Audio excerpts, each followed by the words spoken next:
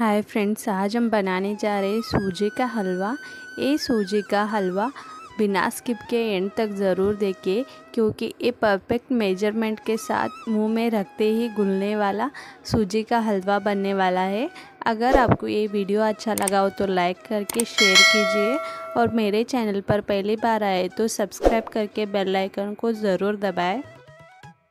सबसे पहले मैंने यहाँ पर दो कप जितना सूजी लिया है, जो हम उपमा बनाने के लिए सूजी यूज़ करते वही सूजी को हमें लेना है।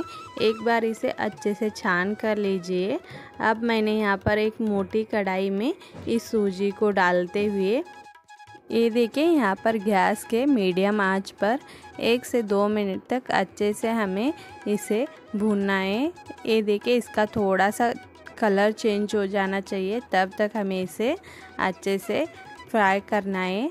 अब मैंने ऊपर से दो चम्मच जितना घी डाला है और घी डालने के बाद हमें फिर से दो से तीन मिनट तक इसे अच्छे से इसे हिलाते हुए इसे फ्राई करना है। ये देखिए, इसे मैंने कम से कम छः से सात मिनट तक ऐसे ही चलाते हुए इसे भून कर लिया है।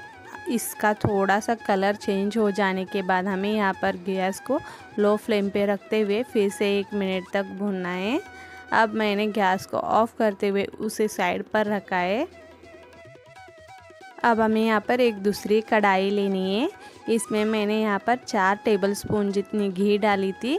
अब हमें यहाँ पर थोड़े से ड्राई फ्रूट्स लेने हैं और इसे कट करके लेने हैं। अब मैंने इसमें अच्छे से डालते हुए फ्राई करके लिए आप देख सकते हैं।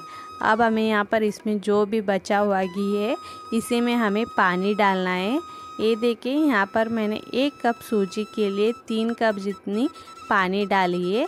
यानी कि मैंने दो कप सूजी के लिए छः कप जितना मैंने पानी डाला है इसमें। दो कप सूजी के लिए छः कप पानी परफेक्ट बनता है। इससे जो भी सूजी का हलवा है, बिल्कुल सॉफ्ट और टेस्टी बनता है। ये देखिए, अब हमें यहाँ पर फ़ूड कलर यूज़ करना है। फ़ूड कलर के लिए मैंने यहाँ पर वन फोर टेबल स्पून जितना फ़ूड कलर डाला है। उसके बाद हमें यहाँ पर चीनी डालनी है। यहाँ पर मैंने चीनी को दो कप सूजी के लिए दो कप से थोड़ी सी कम मैंने चीनी यूज़ की है। ये देखिए, परफेक्ट दो कप जितनी चीनी नहीं डालनी है, थोड़ी सी हमें दो कप से कम डालनी है। अब हमें इसे डालते हुए एक बार अच्छे से मिक्स करना है। उसके बाद मैंने यहाँ पर आधा चम्मच जितना इलायची डाला है और इसे भी हमें एक बार अच्छे से मिक्स करके लेना है। ये देखिए, मिक्स हो जाने के बाद ये अच्छे से उबाल आनी चाहिए पानी में। ये अब पानी में उबाल आ चुका है। अब हमें यहाँ पर थोड़ा थोड़ा सा करते हुए इस सूजी को डालना है। सूजी को डालते समय थोड़ा थोड़ा करते डालिए। एक ही बारी में नहीं डालना है, नहीं तो ये गुंतलियाँ रह जाती है। ये देखिए, मैंने सारा सूजी थोड़ा थोड़ा करते हुए इसमें डाला है और आपको इसे कंटिन्यूसली हिलाते रहना है। ये देखिए, यहाँ पर अच्छे से ये मिक्स हो चुका है।